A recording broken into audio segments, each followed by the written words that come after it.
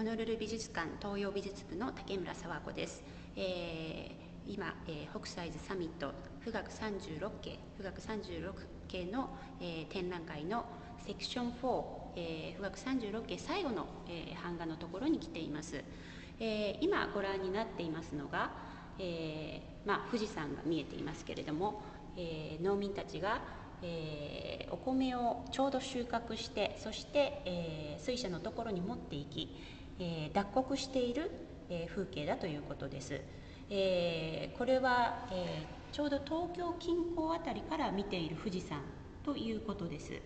え場所ですけれども、え今のちょうど原宿あたり、え今では考えられないような、え静かな田園地帯であったということで、え今の東京をご存知の皆さんにはこういった、え江戸時代後期の風景を見て楽しんでいただけるのではないでしょうか。